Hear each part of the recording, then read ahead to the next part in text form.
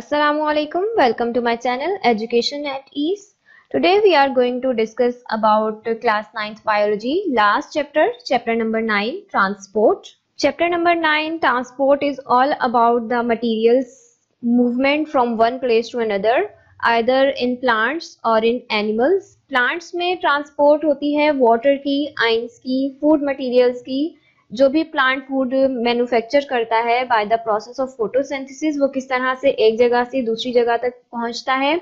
इसके अलावा एनिमल्स में फ़ूड की जो ट्रांसपोर्टेशन है within the body blood के ज़रिए होती है ब्लड के फिर डिफरेंट कंपोनेंट्स हैं, जो कि ब्लड की कंपोजिशन है, उन्हें पढ़ेंगे, फिर ब्लड के डिसऑर्डर्स पढ़ेंगे and then the main organ which transport the blood which pumps the blood throughout the whole body human heart So let's start with the exercise. We have objective first. Encircle the correct answer. Number one is the movement of organic materials in food take place through phloem cells ke through. What regulates the flow of water through the xylem? That is the evaporation of water from the leaves. Phloem transport of sucrose can be described as going from source to sink. Which of the following would not normally function as sink? Mature leaf. Human plasma proteins include which of the following? The answer is 1 and 3 that is fibrinogen and albumin. Which of these are involved in the clotting of blood?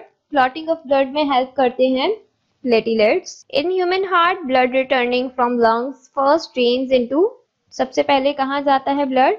Left atrium में root hairs are most important to a plant because they increase the surface area for absorption. A type of circulatory system blood flow through the spaces among tissues called open type circulatory system. So the answer will be a one only.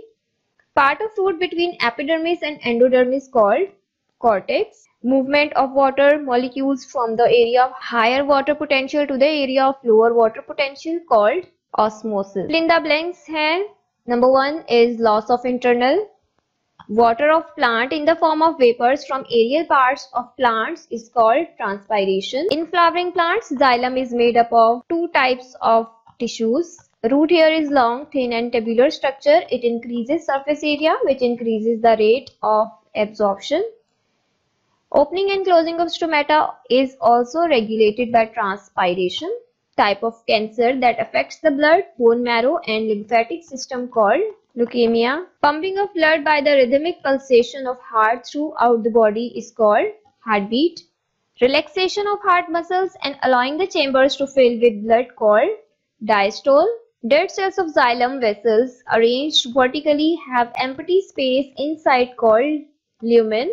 Colorless, irregular in shape, nucleated and larger sized cell than RBCs called WBCs.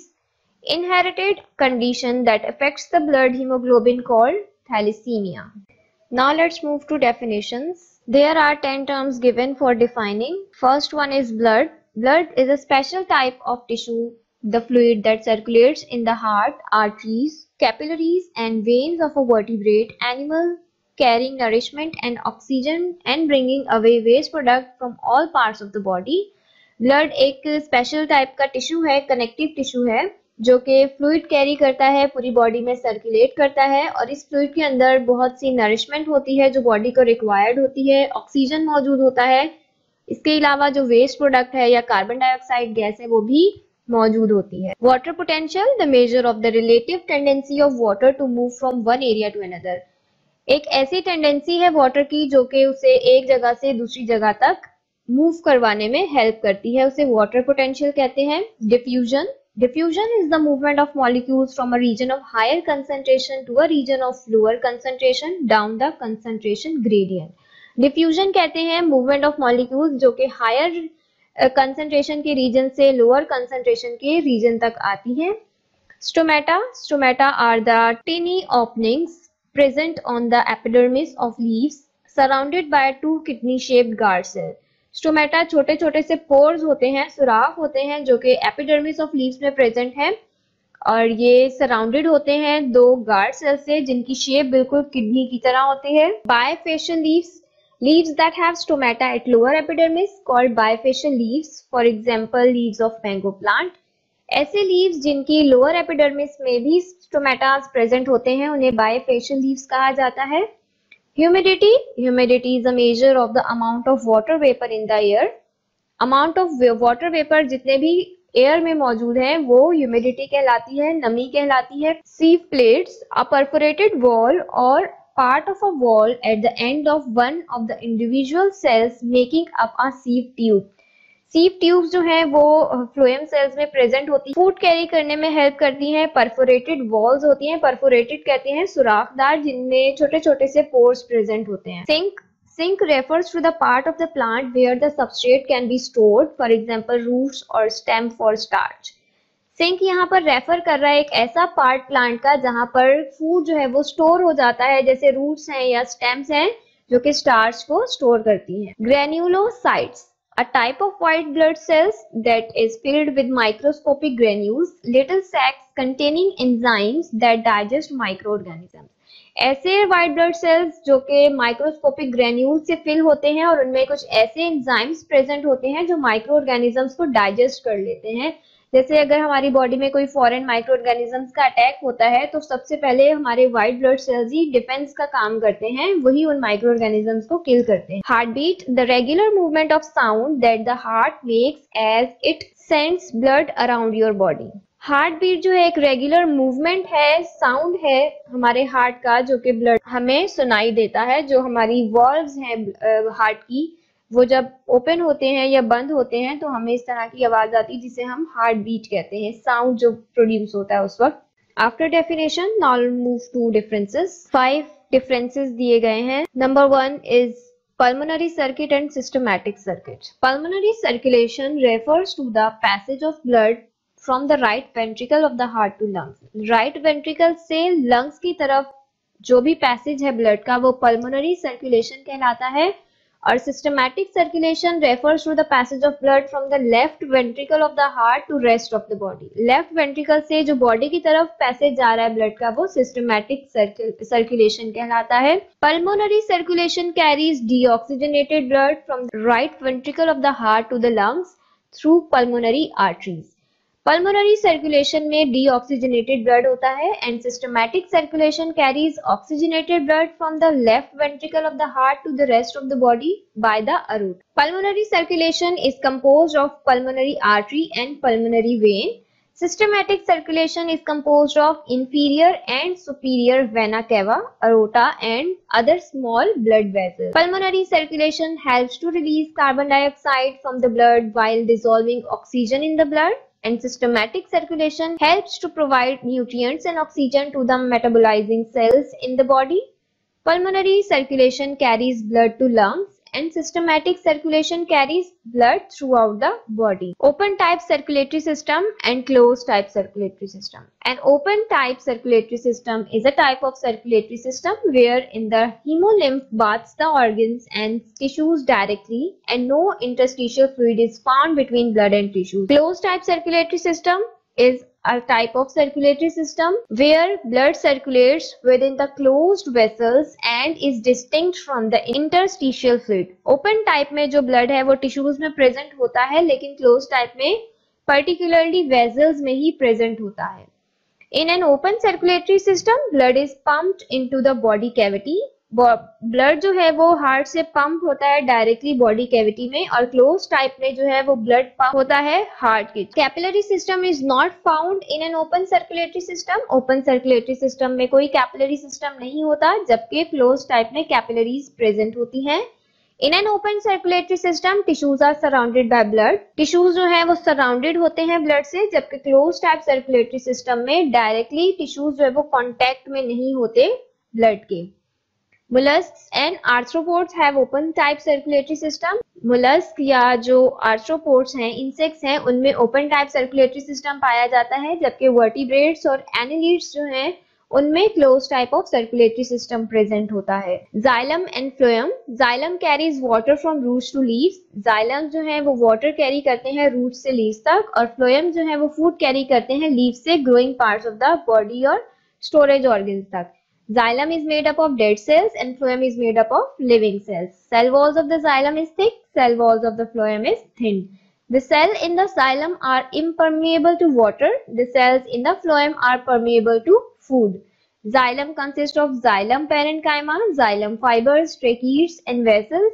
Phloem consists of phloem parenchyma, phloem fibers, sieve tubes, sieve cells and companion cells. Arteries and veins. Blood vessels that transport blood away from the heart arteries जो है वो transport करती हैं bloods को दूर लेकर जाती हैं। और blood vessels that transport blood to the heart for oxygenation और जो ब्लड हार्ट की तरफ़ लेकर आती हैं वो वेन्स होती हैं। Arteries look red arteries red colour की दिखती हैं और वेन्स ब्लू कलर की दिखती हैं। But they are not actually blue blue lights are just reflected in our eyes सिर्फ़ हमारी आईज से रिफ्लेक्ट होकर हमें वो ब्लू नज़र आ रही होती है। एक्चुअली वो ब्लू नहीं होती। Usually position deeper within the body क्योंकि आर्टरीज बहुत ज़्यादा डीपर इनसाइड द बॉडी होती हैं तो वो रेड ही रहती हैं, जबकि जो वेन्स हैं, वो थोड़ा सरफेस ऑफ़ स्किन के नीचे होती हैं, बिल्कुल तो वहाँ से जब लाइट रिफ्लेक्ट होती है तो वो हमें ब्लू कलर की दिखती हैं। Oxygen levels are quite high in arterial blood जो ऑक्सीजन है, वो आर्टीज में आर्टीज के ब्लड में बहुत ज़्यादा होता है, जबकि वेन्स जो है, उनमें ऑक्सीजन लेवल कंपैरेटिवली लो होता है। आर्टरीज बहुत ज़्यादा फ्लेक्सिबल होती हैं, जबकि वेन्स बहुत ज़्यादा फ्लेक्सिबल नहीं होती। RBCs and डब्ल्यूबीसीज, RBCs are red in colour due to the presence of haemoglobin. Haemoglobin की प्रेजेंस की वजह से हमें आरबीसीज रेड कलर के दिखाई देते हैं और डब्ल्यूबीसीज आर कलरलेस, इनका कोई कलर नहीं होता। Red blood cells are also called erythrocytes, इन्हें रिथ्रोसाइट्स भी कहा जाता है और व्हाइट ब्लड सेल्स को ल्यूकोसाइट्स कहा जाता है। The production rate is about two million RBC per second. एक सेकेंड में दो मिलियन आरबीसीज प्रोड्यूस होते हैं और fewer डब्ल्यूबीसीज are produce per second compare to RBCs लेकिन डब्ल्यूबीसीज जो है वो बहुत कम प्रोड्यूस होते हैं per second RBCs are circular biconcave disc shape डब्ल्यूबीसीज are usually rounded in shape RBC circular होते हैं और बाई कनकेव डिस्क शेप होते हैं, जबकि डब्ल्यू जो है वो राउंडेड होते हैं. RBCs are involved in transporting gases, mainly oxygen and minutely carbon dioxide. RBCs जो है वो ट्रांसपोर्ट करते हैं ऑक्सीजन को और बहुत कम अमाउंट में कार्बन डाइऑक्साइड को भी डब्ल्यू इन्वॉल्व होते हैं डिफेंस मैकेनिज्म में बॉडी के लिए डिफेंस का जो मैकेनिज्म है वो डब्ल्यू की ज़िम्मेदारी होती है against germs now we have short answering question towards Question number one is why capillaries are made up of single layer of endothelium. Capillaries जो है वो single layer of endothelium से क्यों बनी होती हैं? Capillaries are much thinner than arteries and veins because their walls are made up of only a single layer of endothelial cells, the flat cells that line all blood vessels. Capillaries are selectively permeable, which means they allow some substances through but not others. Capillaries जो है वो selectively permeable होती हैं। इनमें से कुछ materials पास हो सकते हैं और कुछ पास नहीं हो सकते। इसी वजह से इनकी जो एंडोथीलियम है वो बहुत ज़्यादा थिन होती है सिंगल लेयर होती है। Why transpiration is necessary for plants plants के लिए ट्रांसपायरेशन क्यों ज़रूरी है? ट्रांसपायरेशन होता क्या है? इवेपोरेशन ऑफ़ वाटर और loss of water in vapour form from the expose part of the plant specially leaves is termed as transpiration पानी का इवेपोरेशन हो जाना लॉस हो जाना in the form of vapors from the body of plants, especially leaves. Leaves से पानी का vapour बनकर उड़ जाना, निकल जाना प्लांट बॉडी से ट्रांसपायरेशन कहलाता है।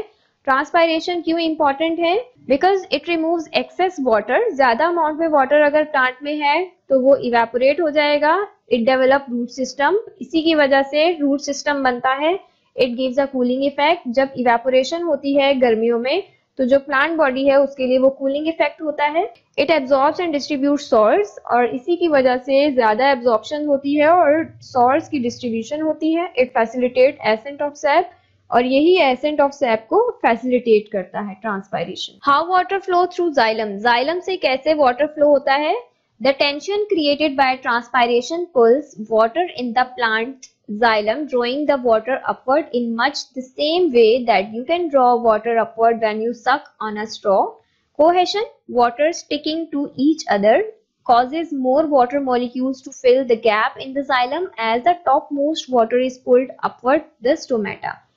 पानी जो है वो किस तरह से जाइलम के ज़रिए ऊपर की तरफ़ जाता है जैसे हम पानी को स्ट्रॉ के ज़रिए अगर सक करते हैं या कोई भी लिक्विड हम सक करते हैं तो वो किस तरह से हमारे मुँह में आता है जो भी उनकी कोहेशन होती है कोहेसिव फोर्सेस होती हैं, उस स्ट्रॉ की, उस पानी को ऊपर की तरफ़ खींचती हैं, अपने साथ स्टिक करती हैं, आहिस्ता आहिस्ता वो ऊपर की तरफ़ चला जाता है। इसी तरह से जो ट्रांसपायरेशन पुल है, वो टेंशन क्रिएट करता है जाइलम सेल्स में। ट्रांसपायरेशन क्या है? इवेपोरेशन ऑफ़ वाटर तो जैसे जैसे ऊपर से इवेपोरेशन होती जाती है प्लांट बॉडी से तो नीचे से वो पानी को सक करता रहता है। इस तरह से जाइलम जो है वो वाटर का फ्लो कैरी करता है। Why veins contain semilunar valve in it veins के अंदर सेमिल्यूनर वॉल्स क्यों होती हैं? Unlike arteries veins contain valves that ensure blood flows only one direction arteries की तरह नहीं है वेन्स वेन्स में जो है वो कुछ वॉल्स प्रेजेंट होती हैं। जो कि ब्लड फ्लो को एक डायरेक्शन में रखती हैं but arteries don't require valves arteries को ज़रूरत नहीं होती वॉल्स की because pressure from the heart is so strong that blood is only able to flow in one direction क्योंकि जो ब्लड निकल रहा है हार्ट से, उसका प्रेशर इतना ज़्यादा होता है कि वो खुद ब खुद एक ही डायरेक्शन में फ्लो करता है। Valves help blood travel back to the heart against the force of gravity valves जो है, वो इसमें भी हेल्प करते हैं कि जो ब्लड ट्रेवल करता है against the force of gravity उसका फ्लो रोकने में भी हेल्प करते हैं। इसीलिए सिर्फ़ वेन्स में ही वॉल्स प्रेजेंट होते हैं आर्टरीज में प्रेजेंट नहीं होते। Why atherosclerosis causes myocardial infarction and stroke atherosclerosis is a hardening and narrowing of your arteries it can put blood flow at risk as your arteries become blocked A heart attack occurs when one of the heart's coronary arteries is blocked suddenly or has extremely slow blood flow. A heart attack also is called a myocardial infarction. The usual cause of sudden blockage in a coronary artery is the formation of blood clot thrombus. Myocardial infarction या heart attack जो है वो किस वजह से होता है atherosclerosis जो है वो कहते हैं हार्डनिंग या नैरोइंग हो जाना आर्टरीज की ब्लड फ्लो नहीं हो पाता हार्ट को प्रॉपरली नरिशमेंट नहीं मिल पाती ऑक्सीजन नहीं मिल पाती ब्लड से तो हार्ट अपनी वर्किंग जो है वो स्लो डाउन कर देता है, कम कर देता है, जिसकी वजह से हार्ट अटैक हो जाता है। Now we have long answering question question number one is describe structure of human heart with suitable diagram हमें स्ट्रक्चर ऑफ़ हार्ट बताना है डायग्राम के साथ। So firstly we have to know what is heart Heart is a major organ of circulatory system. It is a muscular pump which keeps the blood circulating throughout the body. It is located in the thorax slightly at the left side. It is enclosed in a fibrous bag-like protective cover called pericardium. It is a conical in shape externally. The space between pericardium and heart is pericardial cavity which is filled with a fluid called pericardial fluid. This fluid reduces friction and pericardium protects the heart, prevent it from overextension. Heart जो है वो major organ है circulatory system का muscular bag है जो कि blood की circulation में help करता है throughout the body. Present होता है ये thorax में लेफ़्ट साइड पे स्लाइटली लेफ़्ट साइड पे जो कि इंक्लोज है एक प्रोटेक्टिव लेयर में जिसे पेरिकार्डियम कहते हैं और ये कॉनिकल शेप होता है बाहर से अगर देखा जाए तो और इनके बीच में जो स्पेस प्रेजेंट होता है पेरिकार्डियम और हार्ट के, उसे पेरिकार्डियल कैविटी कहते हैं, जो कि फ्लूइड फिल्ड कैविटी होती है पेरिकार्डियल फ्लूइड जिसे कहा जाता है। ये फ्लूड क्या करता है? ये रिड्यूस करता है फ्रिक्शन को और पेरिकार्डियम जो है वो प्रोटेक्ट करता है हार्ट को। स्ट्रक्चर कैसा है इसका? It consist of four chambers the upper two are thin walled called atria चार चेम्बर्स होते हैं ह्यूमन हार्ट के। ऊपर के जो दो चेम्बर हैं, वो थिन वॉल्ड होते हैं, जिसे एट्रिया कहते हैं, और जो लोअर टू होते हैं, वो थिक वॉल्ड होते हैं, जिन्हें वेंट्रिकल्स कहा जाता है। Atria are completely separated from each other by septum called inter atrial septum atria जो है, वो एक दूसरे से सेपरेट होते हैं। एक सेप्टम से बीच में एक लेयर होती है, जिसे इंटर एट्रियल सेप्टम कहा जाता है। The two ventricles are also separated from each other by a muscular partition called inter ventricle septum और जो लोअर वेंट्रिकल्स हैं, वो भी एक दूसरे से सेपरेटेड होते हैं। एक सेप्टम से, जिसे इंटरवेंट्रिकल सेप्टम कहा जाता है each atrium is connected with its ventricle by an auriculo ventricle aperture her atrium जो है, वो कनेक्टेड होता है वेंट्रिकल से, जिसे नाम दिया गया है, जिस कनेक्शन को ऑरिक्यूलो वेंट्रिकुलर अपर्चर का। The right atrium and right ventricle are connected by tricuspid valve. जो right atrium और right ventricle हैं वो एक दूसरे से connected होते हैं एक valve से जिसका नाम tricuspid valve है left atrium and left ventricle are connected by bicuspid valve और जो लेफ़्ट एट्रियम और लेफ़्ट वेंट्रिकल है उनके बीच में जो कनेक्शन है वो होता है बाइकस्पिड वॉल्व से These walls prevent the backward flow of blood from the ventricles to the atria. इन walls का जो काम है, वो है ब्लड का फ्लो बैकवर्ड करने से रोकने के लिए वेंट्रिकल से एट्रिया में। मीन्स के जो एट्रिया है, वहाँ से ब्लड वेंट्रिकल में आता है एट्रिया ऊपर है और वेंट्रिकल नीचे है। तो जैसे ही ब्लड नीचे आता है तो जब नीचे से हार्ट के मसल स्क्वीज होते हैं वेंट्रिकल से वापस एट्रिया में ब्लड ना जाए, इसके लिए बीच में वॉल्स प्रेजेंट होते हैं।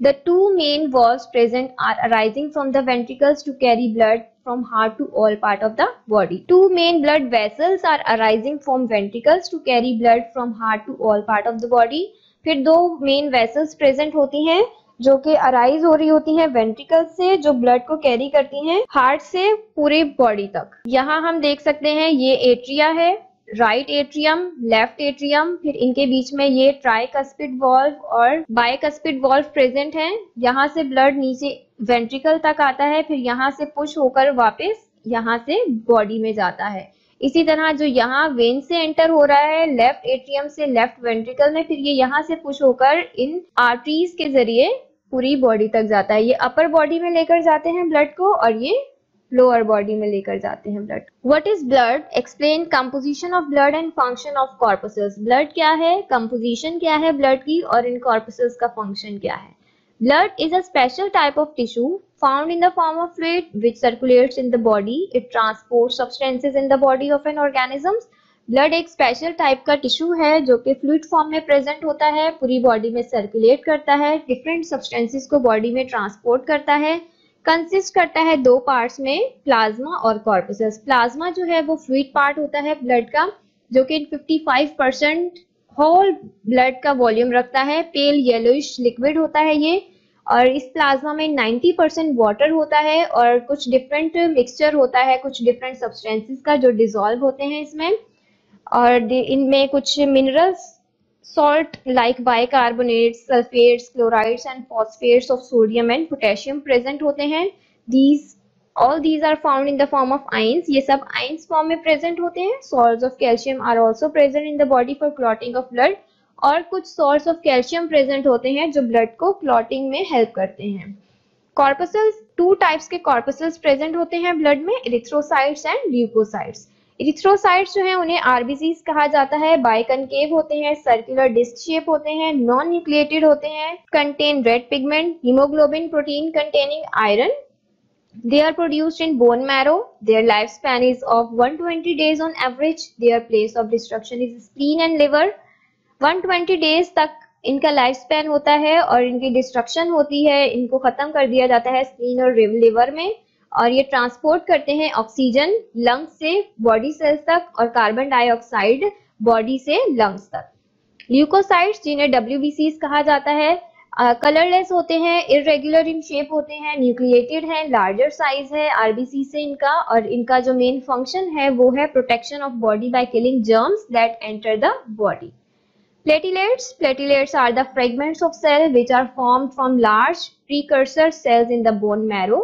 Platelets fragments होते हैं सेल्स के, जो कि बोन मैरो में बनते हैं on injury exposure to the air stimulate the platelets at cut end to produce an enzyme in blood जब कोई इंजरी हो जाती है, कोई जख्म हो जाता है तो फ़ौरन से ये प्लेटिलेट्स जो है, वो स्टिमुलेट हो जाते हैं उस कट की तरफ़ और वहाँ पर कुछ इंजाइम्स प्रोड्यूस करते हैं जो कि ब्लड को बाहर निकलने से रोकता है।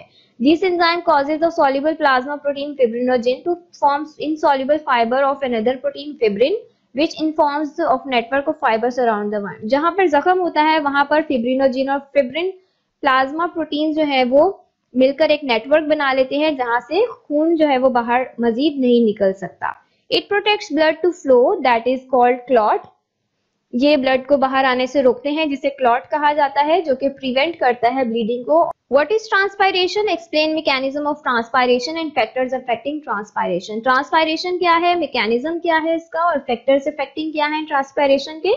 This loss of internal water of plant in the form of vapours from aerial part of plant is called transpiration internal water जो कि प्लांट बॉडी में प्रेजेंट है, वो in the form of vapours जब प्लांट बॉडी से बाहर निकल जाता है तो वो ट्रांसपायरेशन कहलाता है, या हम ये भी कह सकते हैं एक्सेस अमाउंट ऑफ़ वाटर का इवेपोरेशन हो जाना रिमूव हो जाना प्लांट बॉडी से ट्रांसपायरेशन है।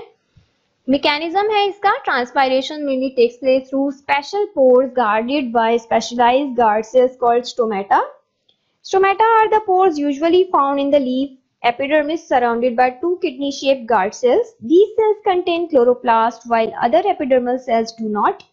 The guard cells control the opening and closing of stomata. The inner wall of guard cells is thick and inelastic whereas the outer wall is thin, elastic and permeable. The changes in the turgidity of guard cells controls the opening and closing of stomata. Guard cells become turgid and close when the guard cells become flaccid. The turgidity of guard cell is regulated by concentration of solutes present in it which mainly depends upon the rate of photosynthesis. Opening and closing of stomata is one of the important factors to control the rate of transpiration. The stomata open during this sunny day as a result rate of transpiration increases but at night they are closed hence transpiration also stops. Transpiration जो है, वो basically होती है with the help of stomata opening and closing of stomata जितने ज़्यादा turgid होंगे cell उतने ही ज़्यादा ओपन होंगे। फिर वहाँ से excess amount of water release हो जाएगा प्लांट बॉडी से और जब प्लांट बॉडी से पानी खत्म हो जाएगा तो वो सेल फ्लेसीड हो जाते हैं, बिल्कुल सुकड़ जाते हैं और बंद हो जाते हैं। ज़्यादातर ट्रांसपायरेशन डे टाइम में होती है, क्योंकि जब सन होता है ट्रांसपायरेशन का रेट इंक्रीज हो जाता है गार्ड सेल्स ओपन हो जाते हैं और जब रात होती है तो वो गार्ड सेल्स बंद हो जाते हैं और ट्रांसपायरेशन रुक जाती है। Here is the structure of stomata ये स्टोमेटा का स्ट्रक्चर है, ये गार्ड सेल्स प्रेजेंट है, दो बीन शेप है। अभी ये बिल्कुल ओपन है टर्जिड है और यहाँ पर गार्ड सेल्स जो हैं वो क्लोज हैं फ्लेसीड हैं क्लोज हैं। Factors affecting rate of transpiration कौन से ऐसे फैक्टर्स हैं जो रेट ऑफ़ ट्रांसपायरेशन पे इफ़ेक्ट करते हैं? Temperature rate of evaporation of water from cell surface increases with increase in temperature जितना ज़्यादा टेम्परेचर होगा, उतनी ज़्यादा इवेपोरेशन होगी और उतना ज़्यादा रेट ऑफ़ ट्रांसपायरेशन होगा। Humidity transpiration takes place only when concentration of the vapors must be low outside than inside. So dry atmosphere is also the condition for transpiration. The rate of transpiration decreases with increase in water vapors in atmosphere that is humidity.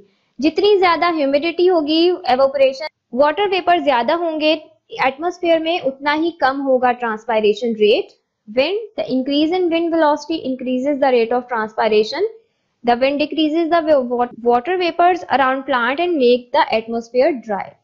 जितनी ज़्यादा हवा चलेगी उतना ही ज़्यादा rate of transpiration increase हो जाता है atmospheric pressure low atmospheric pressure increase the rate of transpiration through reduction in the density of air जब एटमोस्फेरिक प्रेशर ज़्यादा होता है एयर की डेंसिटी कम होती है तो रेट ऑफ़ ट्रांसपायरेशन इंक्रीज हो जाता है If you want these notes in PDF form, you can contact me. The number is given in description box. यहाँ हमारा चैप्टर एंड होता है। Thank you for watching video पसंद आए तो लाइक शेयर एंड सब्सक्राइब ज़रूर कीजिएगा। अपना बहुत ख्याल रखिएगा।